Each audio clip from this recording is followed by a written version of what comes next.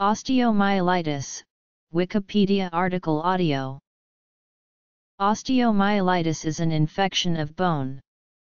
Symptoms may include pain in a specific bone with overlying redness, fever, and weakness. The long bones of the arms and legs are most commonly involved in children while the feet, spine, and hips are most commonly involved in adults. Signs and symptoms Cause. Pathogenesis. Diagnosis. Classification. Treatment. History. Fossil record. The cause is usually a bacterial infection and rarely a fungal infection. It may occur via spread from the blood or from surrounding tissue.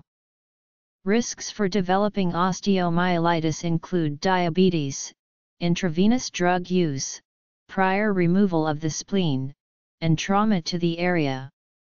Diagnosis is typically suspected based on symptoms. This is then supported by blood tests, medical imaging, or bone biopsy. Treatment often involves both antimicrobials and surgery. In those with poor blood flow, amputation may be required. With treatment outcomes are often generally good when the condition has only been present a short time. About 2.4 per 100,000 people are affected a year. The young and old are more commonly affected. Males are more commonly affected than females. The condition was described at least as early as the 300s BC by Hippocrates. Before the availability of antibiotics the risk of death was significant. Symptom may include pain in a specific bone with overlying redness, fever, and weakness. Onset may be sudden or gradual. In children, the long bones are usually affected. In adults, the vertebrae and the pelvis are most commonly affected. Acute osteomyelitis almost invariably occurs in children because of rich blood supply to the growing bones. When adults are affected, it may be because of compromised host resistance due to debilitation, intravenous drug abuse, infectious root canaled teeth, or other disease or drugs. Osteomyelitis is a secondary complication in 1-3% of patients with pulmonary tuberculosis. In this case, the bacteria, in general, spread to the bone through the circulatory system, first infecting the synovium before spreading to the adjacent bone. In tubercular osteomyelitis, the long bones and vertebrae are the ones that tend to be affected. Staphylococcus aureus is the organism most commonly isolated from all forms of osteomyelitis. Bloodstream-sourced osteomyelitis is seen most frequently in children, and nearly 90% of cases are caused by Staphylococcus aureus. In infants, S. aureus, group B streptococci and Escherichia coli are commonly isolated, in children from 1 to 16 years of age, S. aureus, Streptococcus pyogenes, and Haemophilus influenzae are common. In some subpopulations, including intravenous drug users and splenectomized patients, gram-negative bacteria, including enteric bacteria, are significant pathogens. The most common form of the disease in adults is caused by injury exposing the bone to local infection. Staphylococcus aureus is the most common organism seen in osteomyelitis, seeded from areas of contiguous infection. But anaerobes and gram-negative organisms, including Pseudomonas aeruginosa, E. coli, and Serratia marcescens, are also common. Mixed infections are the rule rather than the exception. Systemic mycotic infections may also cause osteomyelitis. The two most common are Blastomyces dermatitidis and coccidioides immitis. In osteomyelitis involving the vertebral bodies, about half the cases are due to S. aureus, and the other half are due to tuberculosis. Tubercular osteomyelitis of the spine was so common before the initiation of effective anti-tubercular therapy, it acquired a special name, Pott's disease. The Burkholderia cepacia complex has been implicated in vertebral osteomyelitis in intravenous drug users. In general, microorganisms may infect bone through one or more of three basic methods.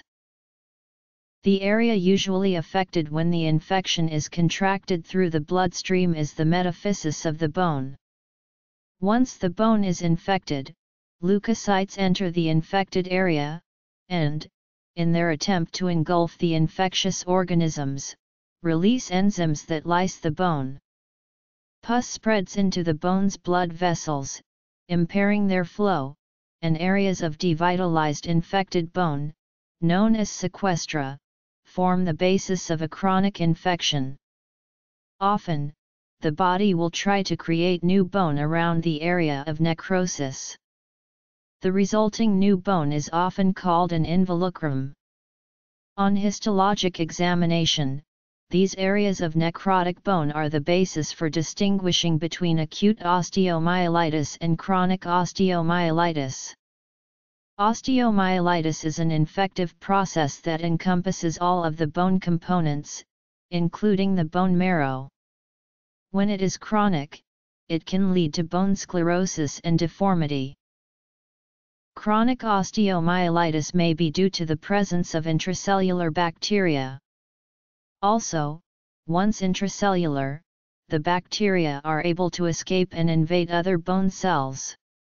At this point, the bacteria may be resistant to some antibiotics. These combined facts may explain the chronicity and difficult eradication of this disease, resulting in significant costs and disability, potentially leading to amputation. Intracellular existence of bacteria in osteomyelitis is likely an unrecognized contributing factor to its chronic form. In infants, the infection can spread to a joint and cause arthritis. In children, large subperiosteal abscesses can form because the periosteum is loosely attached to the surface of the bone. Because of the particulars of their blood supply, the tibia, femur, humerus, vertebra, the maxilla, and the mandibular bodies are especially susceptible to osteomyelitis. Abscesses of any bone, however, may be precipitated by trauma to the affected area. Many infections are caused by Staphylococcus aureus, a member of the normal flora found on the skin and mucous membranes. In patients with sickle cell disease, the most common causative agent is Salmonella, with a relative incidence more than twice that of S. aureus. The diagnosis of osteomyelitis is complex and relies on a combination of clinical suspicion and indirect laboratory markers such as a high white blood cell count and fever, although confirmation of clinical and laboratory suspicion with imaging is usually necessary. Radiographs and CT are the initial method of diagnosis, but are not sensitive and only moderately specific for the diagnosis. They can show the cortical destruction of advanced osteomyelitis, but can miss nascent or indolent diagnoses. Confirmation is most often by MRI.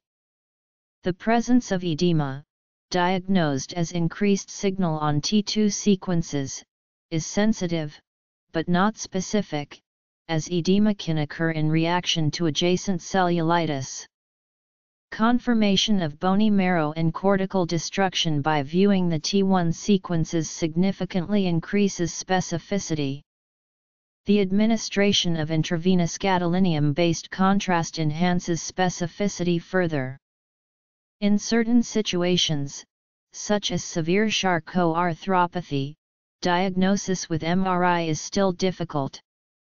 Similarly, it is limited in distinguishing bone infarcts from osteomyelitis in sickle cell anemia. Nuclear medicine scans can be a helpful adjunct to MRI in patients who have metallic hardware that limits or prevents effective magnetic resonance. Generally a triple-phase technetium-99 based scan will show increased uptake on all three phases. Gallium scans are 100% sensitive for osteomyelitis but not specific, and may be helpful in patients with metallic prostheses. Combined WBC imaging with marrow studies have 90% accuracy in diagnosing osteomyelitis.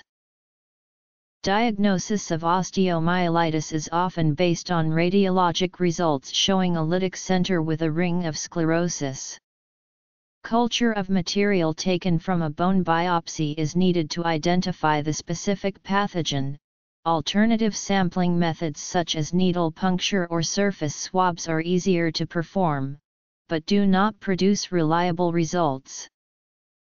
Factors that may commonly complicate osteomyelitis are fractures of the bone, amyloidosis, endocarditis, or sepsis. The definition of OM is broad, and encompasses a wide variety of conditions. Traditionally, the length of time the infection has been present and whether there is suppuration or sclerosis is used to arbitrarily classify OM. Chronic OM is often defined as OM that has been present for more than one month. In reality, there are no distinct subtypes, instead there is a spectrum of pathologic features that reflect balance between the type and severity of the cause of the inflammation, the immune system and local and systemic predisposing factors. OM can also be typed according to the area of the skeleton in which it is present. For example, osteomyelitis of the jaws is different in several respects from osteomyelitis present in a long bone. Vertebral osteomyelitis is another possible presentation. Osteomyelitis often requires prolonged antibiotic therapy for weeks or months. A PICC line or central venous catheter can be placed for long-term intravenous medication administration. It may require surgical debridement in severe cases, or even amputation. Initial first-line antibiotic choice is determined by the patient's history and regional differences in common infective organisms. A treatment lasting 42 days is practiced in a number of facilities. Local and sustained availability of drugs have proven to be more effective in achieving prophylactic and therapeutic outcomes. Open surgery is needed for chronic osteomyelitis, whereby the involucrum is opened and the sequestrum is removed or sometimes saucerization can be done. Hyperbaric oxygen therapy has been shown to be a useful adjunct to the treatment of refractory osteomyelitis. Before the widespread availability and use of antibiotics, blowfly larvae were sometimes deliberately introduced to the wounds to feed on the infected material, effectively scouring them clean. In 1875, American artist Thomas Eakins depicted a surgical procedure for osteomyelitis at Jefferson Medical College, in a famous oil painting titled The Gross Clinic. There is tentative evidence that bioactive glass may also be useful in long bone infections. Support from randomized controlled trials, however, is not available as of 2015. Via the bloodstream, the most common method, contiguously from local areas of infection, or penetrating trauma, including iatrogenic causes such as joint replacements or internal fixation of fractures or secondary periapical periodontitis in teeth. Suppurative osteomyelitis, acute suppurative osteomyelitis, chronic suppurative osteomyelitis, primary, secondary. 00298 at Chorus The word is from Greek words sigma tau omicron nu osteon, meaning bone, mu upsilon epsilon lambda myelo meaning marrow, and tau iota itis meaning inflammation. Evidence for osteomyelitis found in the fossil record is studied by paleopathologists, specialists in ancient disease and injury. It has been reported in fossils of the large carnivorous dinosaur Allosaurus fragilis. Media related to osteomyelitis at Wikimedia Commons